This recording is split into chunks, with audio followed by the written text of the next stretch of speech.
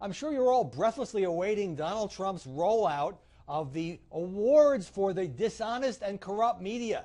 Now, let's face it, this is a bit of a stunt. It's not like the President of the United States doesn't rip the press, oh, every day, every few hours sometimes, using that uh, powerful Twitter weapon.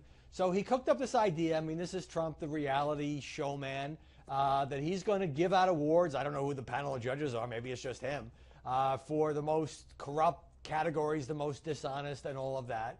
Um, and, I, you know, this is the kind of thing where it'll be like a one day story, probably. His base will love it. They love when he, Trump supporters love when he beats up on the press. They don't trust the press. It probably won't change a single vote uh, among people who are either, or let's just say at least skeptical or opposed to this president. It probably won't do uh, move his agenda a single inch, but he'll enjoy it and he'll get us to cover it, which I guess I'm kind of doing right now. Um, and so, you know, will anybody really be shocked if CNN wins an award, the failing New York Times wins an award? I mean, I, this is, you know, uh, a way to get some attention uh, for individual news organizations that, you know, at times have run stories that had to be retracted that turned out to be false. In a couple instances, people have lost their jobs over this or been suspended. Um, but is that what really this is about, or is this about score settling? and the president uh, wanting to go after uh, organizations that publish stories about him and his White House and his administration that he does not like. But here's the fascinating thing. So some of his critics are trying to flip the script. Notably, uh, Stephen Colbert uh, went on his uh, CBS Late Show and he said, basically, I want an award. I don't want to be snubbed. And Colbert uh, bought a billboard in Times Square in New York and did one of these. You know how they do this for the Oscars? For your consideration, they tout this great movie, hoping that the critics will see it and maybe it will get, you know, Best Picture nomination or Best Director or Best Screenplay or whatever, right?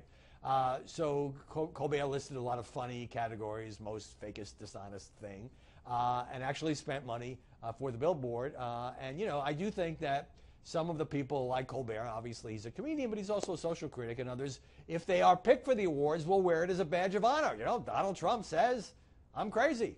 Uh, that sort of thing. So maybe this is, you know, this kind of goes to the notion that there is a symbiotic relationship between this president and his sharpest critics in the media. Uh, the president got at this when he gave that interview to the New York Times. He's always complaining about the New York Times, but he keeps giving the paper interviews. And he says, you know, the press is going to root for me in 2020 because without me, the ratings will tank, the clicks will go down. He makes money for news organizations. So the more that he is attacked or treated, let's just say, with an unusual degree of aggressiveness, uh, by the MSM, the mainstream media. The more he punches back, that plays to his base. Many folks in the press play to their base, the ones who are part of the resistance who don't like Trump.